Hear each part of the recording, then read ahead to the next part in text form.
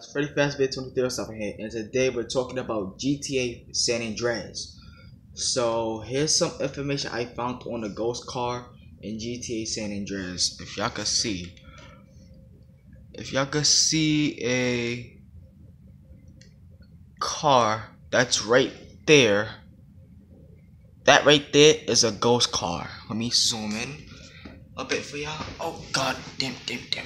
Ah if y'all can't see it, I found information that a ghost car is moving on its own and back and beyond.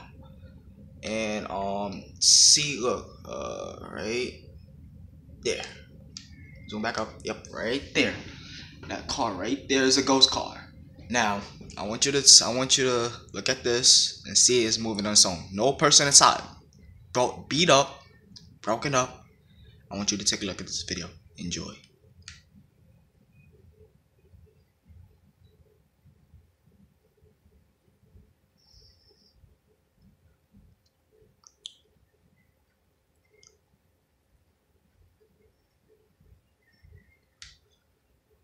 So as you can see, I'll rewind that again.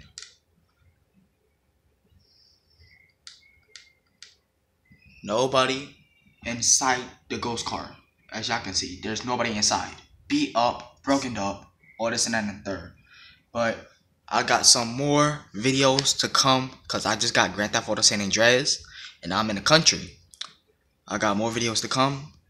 Like, subscribe, share this video if y'all want to see more more myth and legends on GTA San Andreas.